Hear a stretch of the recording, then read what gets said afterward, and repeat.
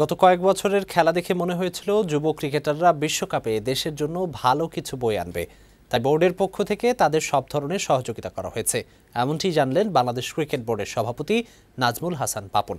সন্ধ্যায় ক্রিকেট বোর্ডে সাংবাদিকদের কাছে নিজের প্রতিক্রিয়ায় বোর্ড কর্তা জানান, দেশের জন্য গৌরব বয়ে আনা এসব তরুণদের আগামী দুই বছর প্রতি মাসে এক লাখ টাকা করে ভাতা দেওয়া হবে। আরও জানাচ্ছেন তৌহিদুল আলম। দেশের ক্রীড়াক্ষেত্রে সবচেয়ে বড় সাফল্য বয়ে আনা অনূর্ধ্ব উনিশ ক্রিকেটারদের বিশ্বজয়ে। সবার চেয়ে আনন্দটা যেন একটু বেশি, বোর্ড প্রধান নাজমুল হাসান পাপনের। হবে নাই বা কেন? বড়রা যেখানে পারফরমেন্স বিবেচনায় খাবি খাচ্ছেন, সেখানে উনিশ পেরুনে তরুণদের হাত ধরে বিশ্বজয়। ক্রিকেট বোর্ডের সাংবাদিকদের সাথে আলাপকালে প্রশান্তি দেখা গেল বোর্ড প্রধানের অভিব্যক্তিতে। বড়রা যেন অনেকটা ঝিমিয়ে পড়েছেন এখন। পাকিস্তান সফরে জাতীয় ক্রিকেট দলের ব্যর্থতায় কাতর, পাপনকে আবার জাগিয়ে তুলেছে ছোটদের বিশ্বজয়। জানালেন, এই অর্জনে দারুণভাবে জেগে উঠবে সবাই।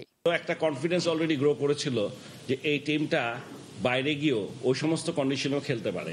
তো সেই জন্যই আমাদের একটা বিরাট আশা ছিল ভরসা ছিল বিশ্বাস ছিল। বাকি কাজটা করার জন্য কি দরকার? সেই পরিকল্পনা মতেই ওদেরকে আসলে করা হয়। বিশ্বজয়ী তরুণ ক্রিকেটারদের সঠিক পরিচর্যার মাধ্যমে গড়ে তুলে জাতীয় দলের জন্য সম্পদ হিসেবে তৈরি করতে চান বিসিবি সভাপতি। সেজন্য বোর্ডের পক্ষ থেকে তাদের জন্য সব সুবিধা নিশ্চিত করার কথা জানিয়ে পাপন বললেন যুব দলের প্রতিটি খেলোয়াড়কে মাসিক ভাতা দেওয়া হবে।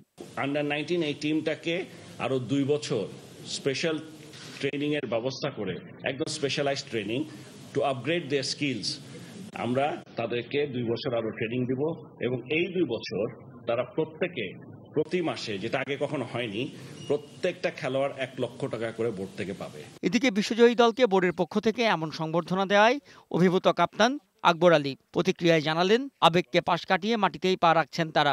আগামী দিনগুলোতে বড় পরিসরের জন্য নিজেদের তৈরি করতে চান সঠিকভাবে। ফাইনালটা খেলার টার্গেট নিয়ে আমরা ওয়ার্ল্ড কাপে যাচ্ছি। তো সেখানে আমরা সেটা ফুলফিল করতে পেরেছি বলে এটা একটা স্যাটিসফাইড আমরা। সবার সম্মিলিত প্রচেষ্টায় ক্রিকেটের এই অগ্রযাত্রার ধারা অব্যাহত থাকবে। এমন আশার কথা শুনিয়ে সাফল্য নিয়ে বেশি মাতামাতি না করার পক্ষে মত দেন তিনি। তহিদুল আলম বৈশাখী সংবাদ ঢাকা।